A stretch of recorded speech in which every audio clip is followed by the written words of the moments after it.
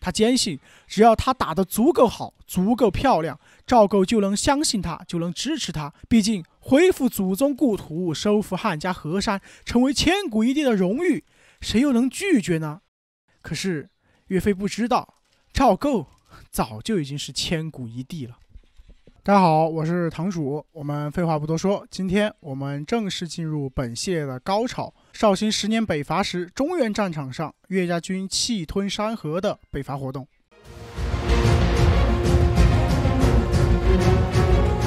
公元一一四零年，宋绍兴十年，经天眷三年，这注定是一个不平凡的年头。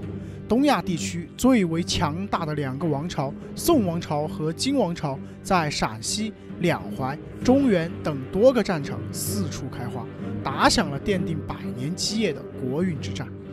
战争一开始，金国利用南宋的不设防，收回了大部分因为完颜昌议和而割让给宋朝的土地。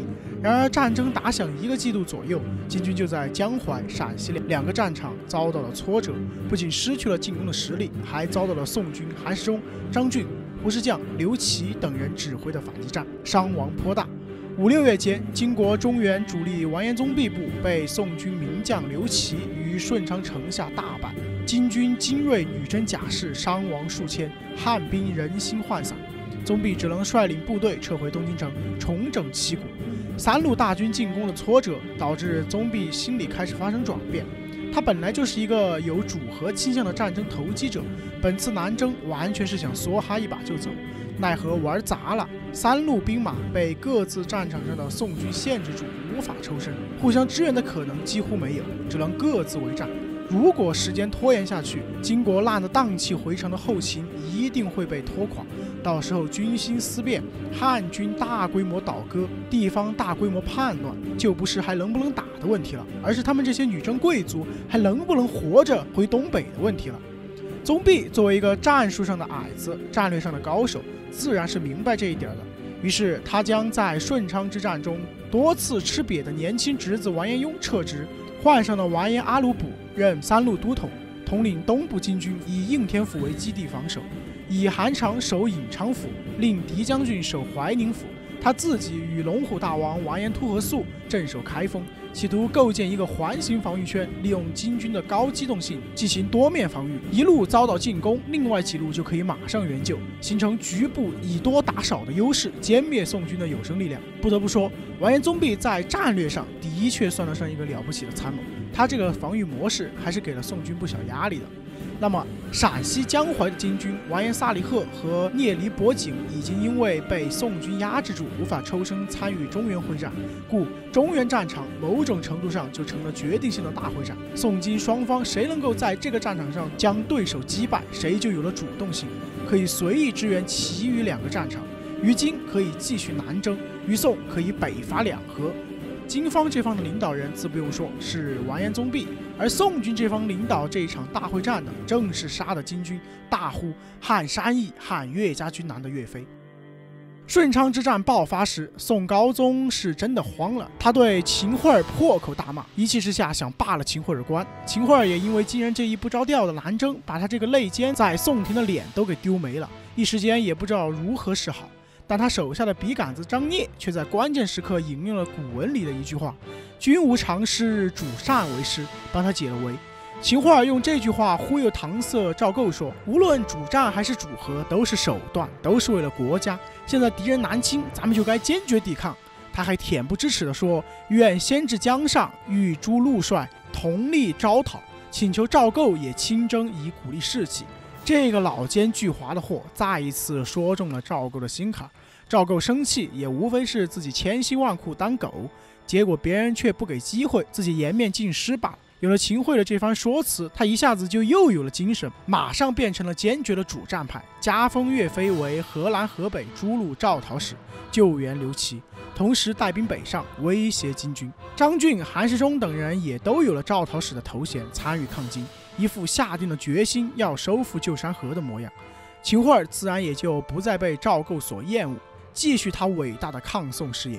这个事情告诉我们什么呢？人呐，有些时候还是要多读书的。身边有一两个像张聂这种做题家合作伙伴的，关键时刻他能救命啊！当然，你是想要流芳千古，还是遗臭万年，那就得看你自己怎么选了。我们接着说正题。所以，当岳飞被加封为河南、河北招讨使之后，被拘束在鄂州尺寸之地三年的岳鹏举立刻振奋精神。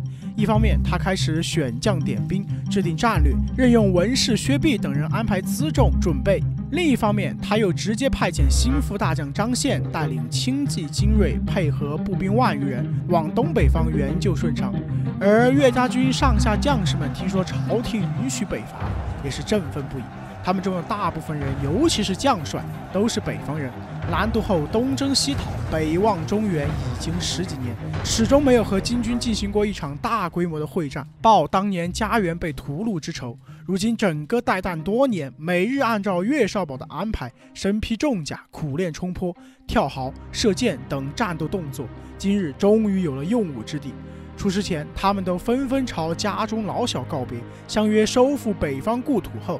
再团圆重逢，三军将士都充满了必胜的信心，怀着一往无前的勇气，等待着主帅出师的命令。然而，就在整个京湖地区战争机器高速运转，上至主帅岳飞，下到运粮的贩夫走卒，都在马不停蹄地执行着北伐大计的动员活动之时，前线一匹快马带来消息：顺昌大捷，刘太尉以五千精卒击败金军十万之众。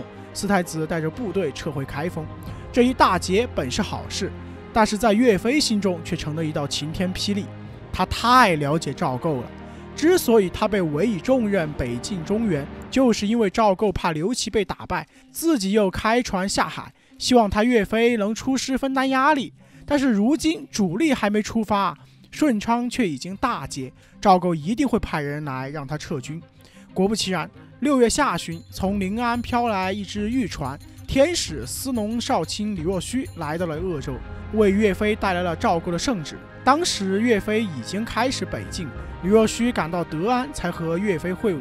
李若虚去临安赴任之前，曾是岳家军的首任参议官，岳家军的政务一把手，但这次老友会面却充满了冰凉。李若虚悲伤地告诉岳飞，赵构希望兵不可轻动，一切班师。